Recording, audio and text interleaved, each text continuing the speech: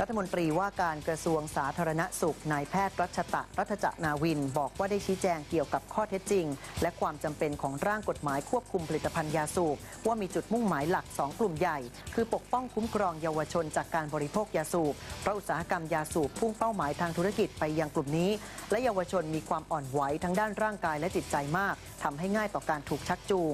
นอกจากนี้ยังเป็นการป้องกันการใช้กลยุทธ์ทางการตลาดรูปแบบใหม่ และครอบคลุมถึงผลิตภัณฑ์ยาสูบรูปแบบใหม่ด้วย เช่น บารากูบุหรี่ไฟฟ้า ซึ่งไม่ได้มีผลกระทบต่อเกษตรกรผู้ปลูกยาสูบ